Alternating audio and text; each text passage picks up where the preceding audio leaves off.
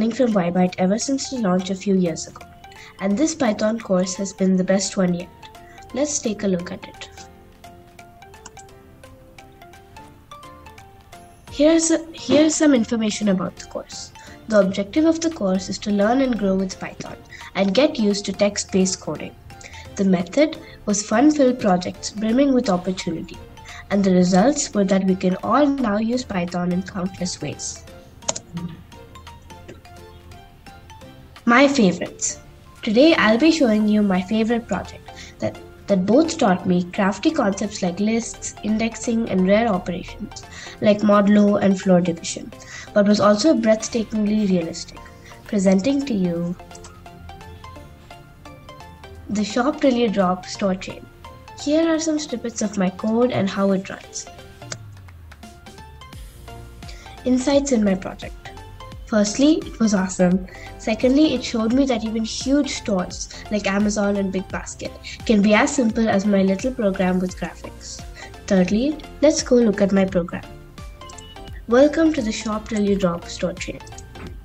Here's how it works. First, an employee of the store welcomes you and allows you to choose a currency. Let's go for Indian rupees. After which, you can choose a department and start shopping. Let's go for the home department. From here, we can start buying items. First, let's get a few shelves, some decor, and three beds. Let's go to checkout. Here, the shopping cart is displayed along with the currency, and the total is displayed as well. After this, we are allowed to remove items. Maybe we don't need three beds. Let's go for one. We have to select item 3 and remove 2. Let's proceed to checkout. At checkout, you have an option to avail a varying discount that provides a sufficient offer, uh, profit to the store. Let's opt for the discount. After opting for the discount, we get options to avail it. Let's try adding 7 tables. After adding this new item, our shopping cart is displayed yet again, showing us what we've added and the bill, along with discounts and taxes displayed clearly. Our final bill is displayed as well. The first thing I printed on Python was the classic Hello World line, and now I'm at a place where I can do anything that comes to my mind with all of my might. Thank you for all of all that you've taught me, sir, and all of my classmates.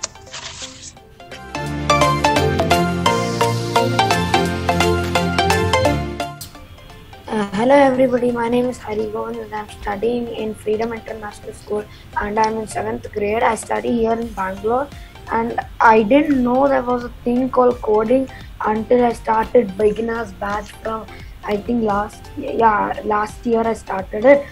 So this is my project that it's called Secret Messages Part 2. I named it Secret Messages Encoding and Code Cracking. The project runs like this the enemy is sending a code so it slows down a bit so you can read it. So as I got hold of it using modern tech patching it through the screen. Processing secret code secret uh, secret code. So I have built it up and built up an intense you know moment because of the you know time. And I have at the end I have added to you know prove it. I have not used some you know uh, I have not used whatever I have done. And I have actually used a code. I proved it using you know the preamble for the encoding is the world because and the all the preambles have actually mixed here. It's a list. Uh, there are four preambles. Hello world python and amazing. And i have added this code to you know break it down choose one preamble and add it to the code.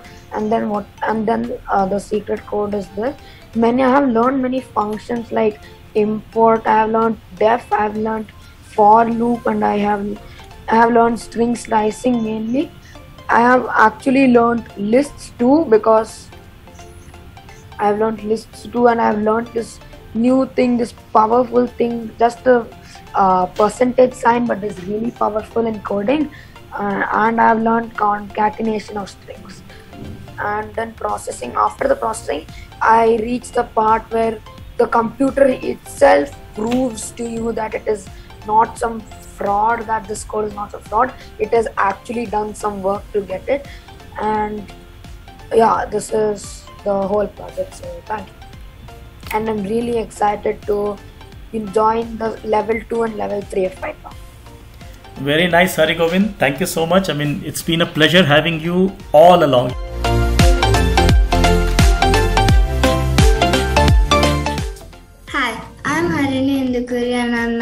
years old. I study at the school of TCIS, the Cambridge International School. I live in Bangalore and speak Telugu at home. I love coding and I love Scratch and now Python. My hobbies are to draw, read books, and play badminton. Now I'm going to talk about uh, my favorite Python project.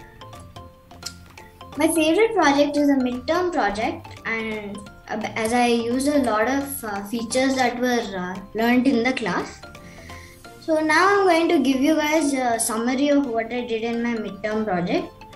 In my midterm project, it basically first asks your gender and age, and after that, it um, prints your welcome message based on your inputs, and then tries to draw you using WorleyArt. So now I'm going to run uh, each example and show it to you. Okay, so I entered female 9 and it uh, printed girl and it uh, drawed a girl with uh, two pigtails. And now let's enter uh, female, let's say 25. It prints lady and uh, it uh, draws a lady with uh, hair as a bun. So that just now I'll enter male 9. It prints boy and it draws a boy.